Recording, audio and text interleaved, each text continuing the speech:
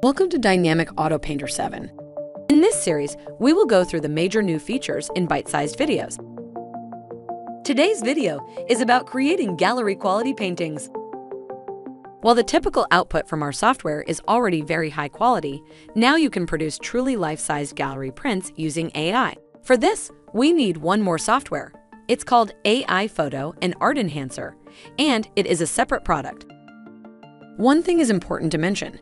Because it uses machine learning, it requires a fairly recent dedicated graphic card or GPU.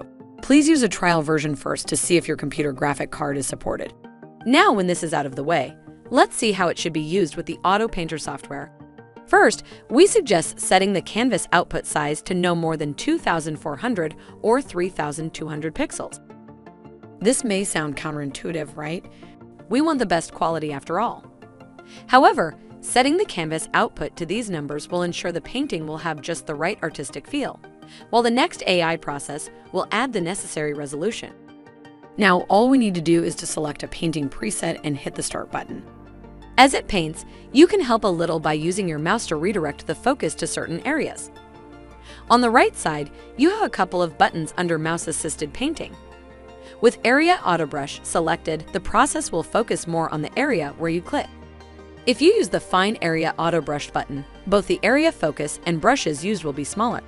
That is a great way to add tiny details where they are needed. When the painting is finished, you can use any of the output tools to fix or enhance your painting.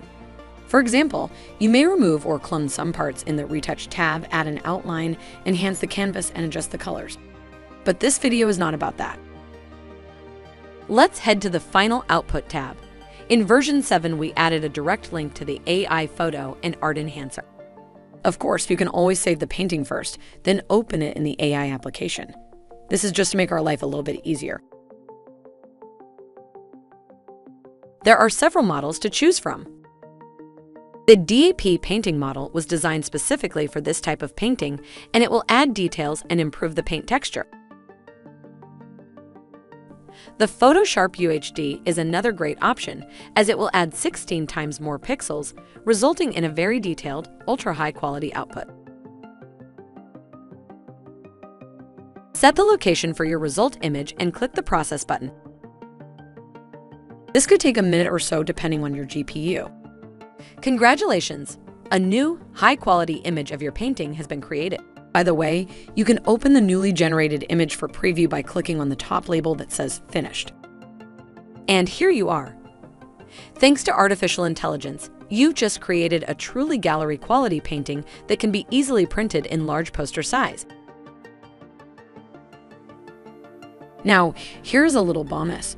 You can use AI Photo and Art Enhancer to also simplify your input images. Let's move back to Dynamic Auto Painter and select the input photo. In the menu Plugins, use the Super Simplify option. This will send you back to the AI application, but this time the 3D Art Simplify will be selected. This produces a nearly vector-like image with most of the details omitted, so it may not be suitable for all types of artwork. You can tweak the result by going to Tools, General Settings, and playing with these parameters. Then, to refresh it, select the 3D Art Simplify preset again click Process, which should go now much faster. And when it is done, close the AIE and back in Auto Painter, hit the OK button to grab the simplified image. Try it with some watercolor presets, for example.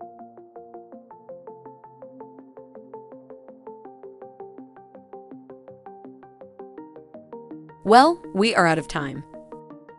Don't forget to hit the like button and subscribe to get notified about more of these videos. To get notified about any new software updates, sales, and promotions, head to MediaChance.com and subscribe to our newsletter. Stay creative and see you soon.